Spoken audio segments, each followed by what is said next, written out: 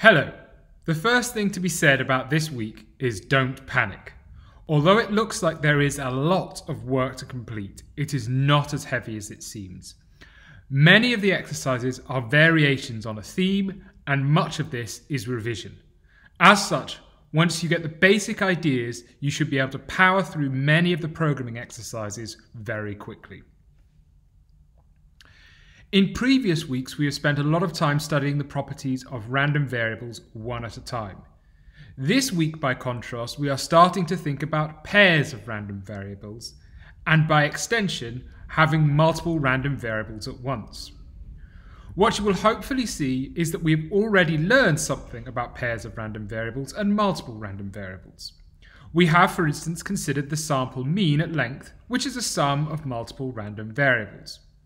The random variables we construct a sample mean from are special, however, in that they are both independent and identical. The main thing we need to do this week is to get this notion of independence on a more solid conceptual footing. In other words, we need to give a definition that explains what we mean when we say that two random variables are independent and when two random variables are not independent. In doing so, we will see that it is critical to discuss the relationship between random variables.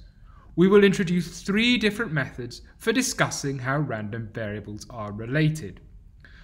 The first of these is to discuss the distribution of the pair of random variables using a joint probability mass function for discrete random variables or the joint probability density function for continuous random variables.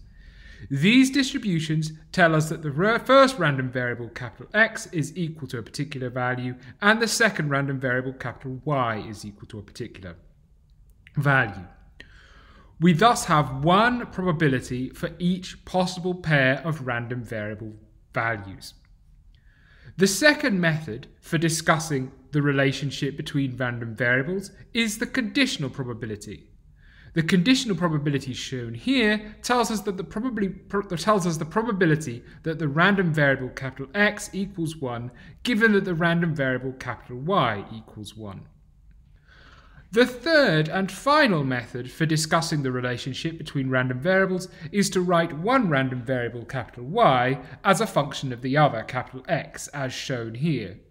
In other words, we can measure the degree of correlation between the random variables and account for parts of the dependent variable capital Y that are not correlated with the value of the independent variable capital X using a noise term delta.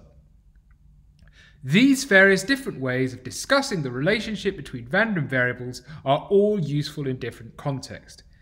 In this week, the next, and in the remainder of your degree, you will learn how these three ways can be used to understand how random variables are related. To summarise then, don't panic, ask for help if you need it, and as always, good luck with the exercises.